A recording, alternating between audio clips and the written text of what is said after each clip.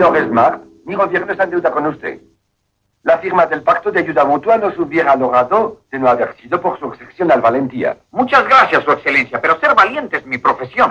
Por lo tanto, es un gran placer otorgarle la condecoración más alta de mi nación, la Legión de Honor.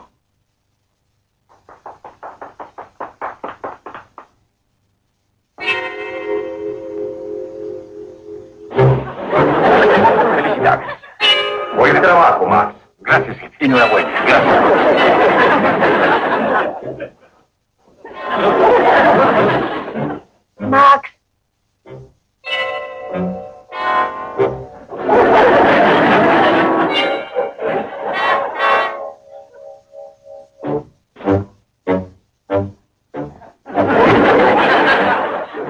...99 será mejor salir a comprar un kilo de duraznos.